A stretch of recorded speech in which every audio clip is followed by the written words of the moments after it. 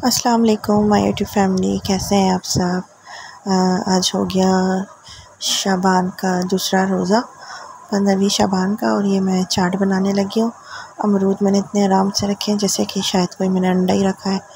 और खैर, ये मैं जल्दी जल्दी से बस टाइम भी कम था, और मैं नमाज़ पढ़ के लेट गई थी तो बस दिल ही नहीं चाह रहा था कुछ करने का। फिर मैं उठी हूँ, जल्दी से मैंने दो अमरूद लिए और मैं उसको अच्छे से चेक कर रही थी। वैसे तो ये सही थे, इतने अच्छे कोई अमरूद थे, फिर भी एक दफ़ा देख के काट लेना चाहिए। अंदर कीड़ा वीड़ा ना हो। निकल ही आता है अमरूद में बास टाइम और बस ये मैं जल्दी जल्दी से अमरूद काट रही थी, केले काटे मैंने। और उसके बाद हाथ वाथ धोए। अब मैं सोच रही थी मैं जो है ना शरबत बना लूँ और ये मैं भी आ गई आपके सामने। इसमें जल्दी से बस मैंने चीनी और ज़रा सी काली मिर्च, नमक डाल दिया है। जग मैंने रख लिया है।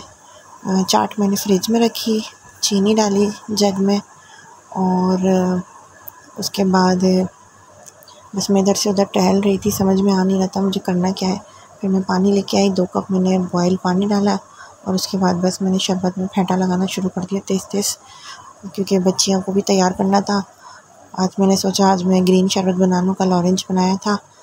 आज मैंने ग्रीन बना लिया है और ये डाल के बस इसको अच्छे से फिर दोबारा से मैंने इसको मिक्स करना शुरू कर दिया।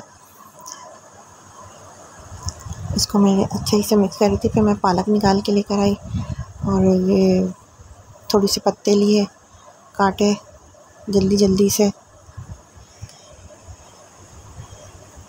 मैं बास्केट लेके आ रही बारीक बारीक से मैं पालक ही काट रही थी। बच्चियाँ मेरी बोल रही थी कि, मम्मा, हमें तैयार कर दें।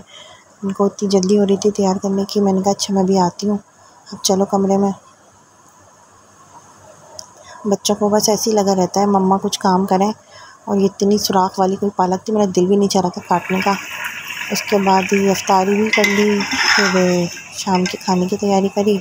ये आलू मटर का पुलाव था, ये मैं बनाने खड़ी हूँ और आप लोगों को मेरी वीडियो कैसी लगती है, अभी मैंने नई नई बनानी शुरू करी है। प्लीज़ थोड़ा सा अप्रिशिएट कर दिया करें लाइक कमेंट्स कर दिया करें सब्सक्राइब कर दें चैनल को।